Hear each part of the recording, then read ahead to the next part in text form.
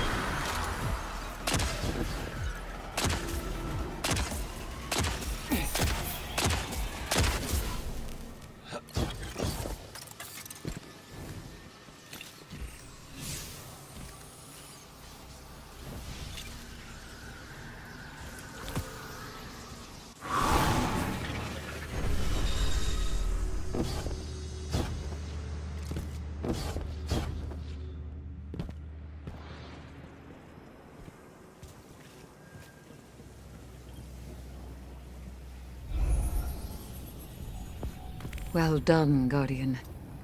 I will interpret the darkness's messages as best I can. Although this particular form of communication is logographic, composed of evocative glyphs. Metaphors, really. For example, this message. This word could mean protected, but it is loaded with subtext. There are connotations of blithe authoritarian forces unshakable in their faith. The translation sheltered would not be sinister enough. Perhaps gelded. Clearly the darkness does not believe the Traveler to be as benevolent as we do. Continue your efforts. We have much to learn.